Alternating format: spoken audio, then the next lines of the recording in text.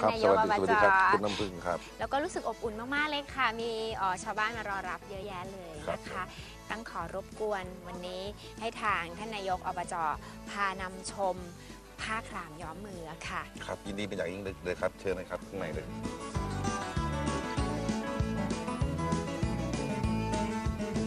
สวยจังเลยนะคะเนี่ย ครับนี่เป็นผ้าย้อมครามซึ่งผลการศึกษาวิจัย สามารถป้องกันแสง UV ด้วยนะครับ คุณน้ำผึ้งครับ อุ๊ย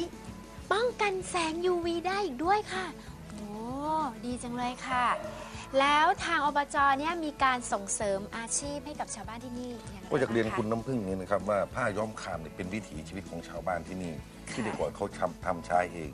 ทีนี้ทางองค์การบริหารส่วนจังหวัดได้เห็นบอกว่าถ้าเราสามารถทำ go inter นะให้เป็นสินค้าค่ะนำส่งออกได้ เราก็เลยจัดงบประมาณในการที่จะให้ชาวบ้านได้รวมกลุ่มกันทอ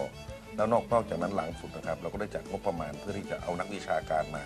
เพื่อให้ชาวบ้านได้รังสรรค์ความคิด สร้างจินตนาจินตนาการบนผืนผ้านะครับแต่เป็นลายผ้าที่ผมใส่ลายผ้าค่ะ ตรงนี้มีความแตกต่างกันนะครับ นี่คือความคิด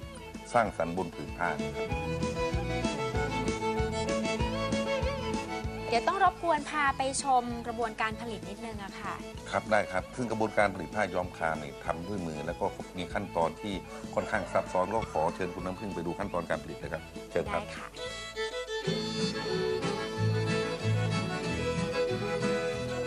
สกลนครเป็นแหล่งผลิตผ้าย้อมครามอันดับหนึ่งของประเทศไทยค่ะ ด้วยภูมิปัญญาท้องถิ่นที่ได้รับการถ่ายทอดจากบรรพบุรุษ การนำต้นครามมาหมักตามกระบวนการก่อหม้อดิน แล้วจึงใช้การย้อมเย็นทำให้สีครามติดทนนานนะคะ เส้นฝ้ายที่ย้อมครามเมื่อแปรรูปเป็นเครื่องนุ่งห่มแล้วนั้น จะให้ความสบายแก่ผู้สวมใส่ค่ะ เพราะสามารถระบายความร้อนได้ดี เมื่ออากาศร้อน และให้ความอบอุ่นในช่วงฤดูหนาวด้วยอีกค่ะ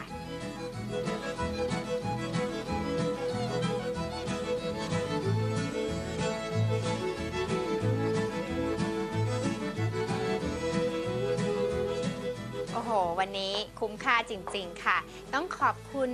พี่สมนะคะที่พาน้ำพึ่ง และก็คุณผู้ชมทางรายการเที่ยวลไมไทยแลนด์เวิลด์มาชมกระบวนการผลิตผ้าครามย้อมมือนะคะ รู้สึกว่า โอ้โห ได้รับความรู้อะไรมากมายเลยละค่ะ ขอบคุณมากนะคะ